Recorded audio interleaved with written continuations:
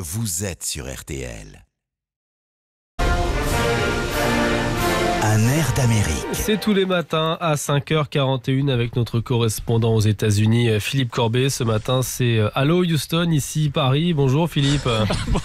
Bonjour, Philippe. Julien, bonjour Marina, bonjour à tous. On est exactement à deux semaines des élections de mi-mandat. Vous êtes ce matin donc à Houston, au Texas, où Donald Trump vient de tenir le plus gros meeting de la campagne.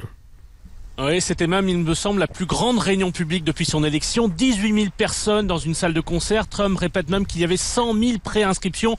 On ne sait pas si c'est vrai, mais certains ont dormi euh, la nuit précédente dehors pour être certains de pouvoir rentrer. Et quand je suis arrivé 7 heures avant, avant Trump, il y avait déjà des centaines de mètres de queue. Vraiment impressionnant. Même si le Texas est une terre plutôt conservatrice, Trump a réussi un grand coup.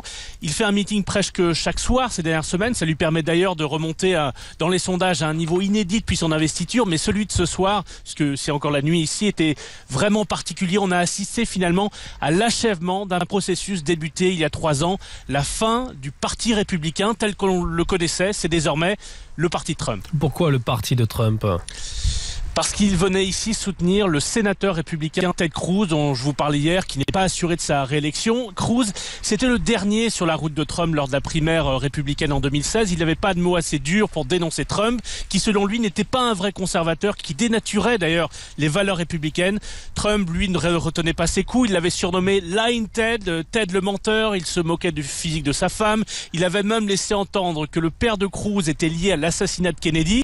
Le Texan ne lui avait pas pardonné. Et d'ailleurs, euh, à la convention qui allait introniser Trump, il avait fait un discours pour critiquer sévèrement le candidat de son parti. Eh bien, le voir tout à l'heure prêter allégeance au président, lui lécher les babouches, euh, c'était vraiment la, la confirmation que le parti républicain est désormais le parti Trump. Le président qui a parlé notamment de la caravane des migrants au Mexique.